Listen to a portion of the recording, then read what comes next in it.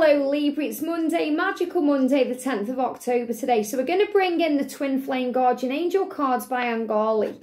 So thank you, angels. What do we need to know, please, today for Libra? Two cards, wow.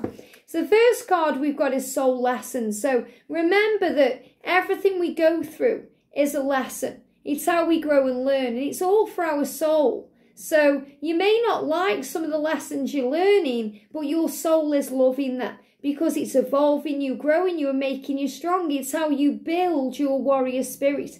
And the lessons you learn here in this lifetime, you take with you for many lifetimes. Isn't that powerful? And I feel this is a big message about how far you've come on your journey, how much you've evolved, and the luck really is on your side. It says you and your twin flame counterpart choose specific soul lessons to learn and master in this lifetime. So you have to master things. We learn how to master the ego because the ego never goes away.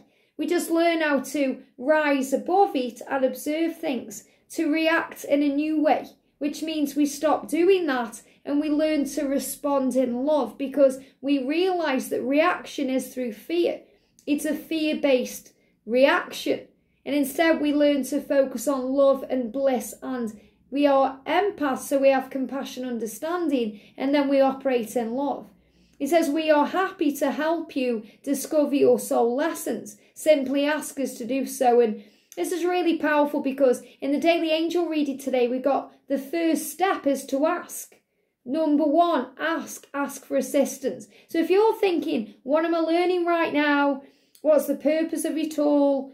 Asking lots of questions. If you call on the angels, they will help you to find the clarity and the knowledge that you are seeking. And I feel Archangel Uriel, the illuminator, and Archangel Chamuel, the finding angel, assisting you with this.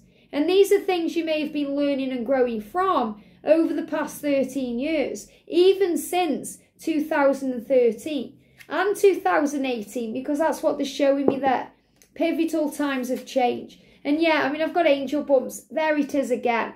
Ask. And this was the daily angel reading here. So, what the angel's saying is they've gone a bit further in your message because you may be questioning things right now, trying to understand why you're learning what you're learning, or what your mission is, or your purpose, or why you've come. And the angels will help you if you ask them to understand your soul lessons. So maybe you're thinking, well, I'm learning a lot of patience right now, and my patience has been tested, or you know, maybe you're in a big age gap connection, or you're from different cultures or backgrounds, or there's other things going on. This is part of your soul growth. You've come here to master these things in this lifetime.